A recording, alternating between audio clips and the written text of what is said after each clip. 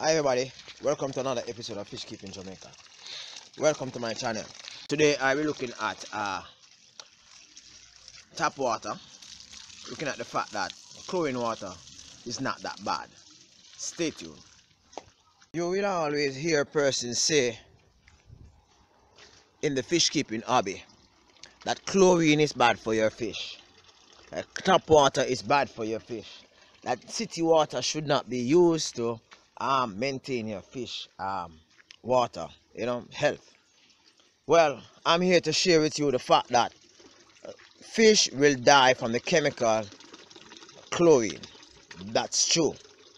However, in a sense, chlorine offers a lot of benefit to your fish life, lifespan. Let me explain why all of this is being said. Now, we all know that our water supply comes from creeks, underground system, and springs, streams, rivers, and several waterways in the bush, high up in the mountains. Now, these waterways actually some goes underground and it becomes well.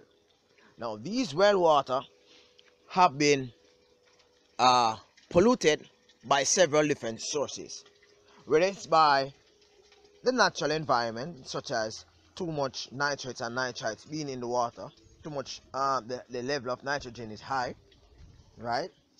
The level of um, nitrates, nitrites, ammonia is high. So what happened is that the water company would usually get the water and place the water in a system where in which the water is actually treated for bacterial infestation. This bacterial infestation is not necessarily uh, good for your fish stock. Whilst in the wild, a lot of these fish are immune to these bacterial infections. In your aquarium system, because it is sterile, your aquarium fish is not used to fighting off these infectious bacteria. Having tap water as a source of water supply for your aquarium is not a bad idea. What happened is that you have to have a system in place which will allow the tap water to actually release the chlorine that will be into the water itself so as into the water itself so that your fish may be healthy. Because the chlorine of course will prevent gas exchange and the fish will die.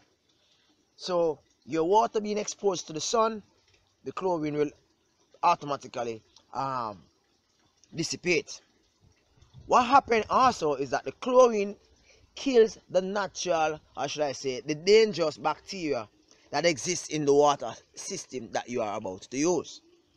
With the absence of chlorine, that means a lot of bacteria will exist within the water. You might not know, you might be saying, hey, I'm getting my water supply from the natural source. I'm getting rainwater. I am getting I am getting spring water, river water. I am getting water from the well. So as a result of that, my water is safe for fish. Having fish being safe in your system is one thing but having fish being uh, saved from the bacteria that exists within the water system, that's another issue. So, what I practice to do, I actually use city water, tap water. I keep my tap water in a container. I allow the chlorine to dissipate after a while. Now, the water, when changed, it is good for my fish. So I will not say that tap water is all that bad. Tap water without the chlorine is awesome. Tap water with the chlorine is bad. I did a video a few weeks ago where I looked at tap water versus rainwater. And some persons could attest to the fact that they have experienced both. And some have testified that uh, one or the other is more profitable than the other. To me, using tap water give me an advantage over using well water, spring water, stream water, river water, or natural water from the earth.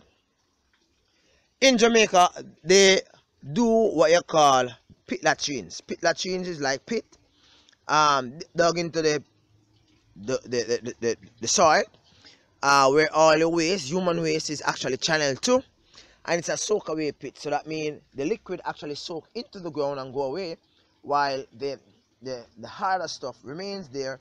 And uh, periodically it will be drawn by a special mechanism.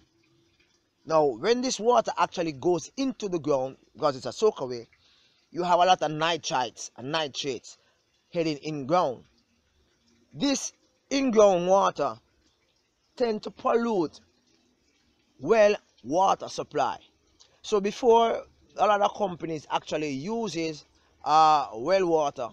For example a lot of these industries they tend to use well water because it's cheaper to actually use well water. And then now they would add their chlorine and they would use it because it's much cheaper than to purchase water from the city. But they have a, and as a result of this they have a mechanism so as to add chlorine to the water so as a result of this this water becomes safe. So even persons using well water is cognizant of the fact that well water might be polluted by underground pollutants which results in persons becoming sick or whatever they use the water for not turning out the way in which they want. This video is just to highlight the fact that water from the tap can be good whilst the chlorine in itself is not good but water from the tap can be good thank you for watching. Do subscribe share and like and follow me on instagram. Bye bye for now. Fish keeping jamaica. Peace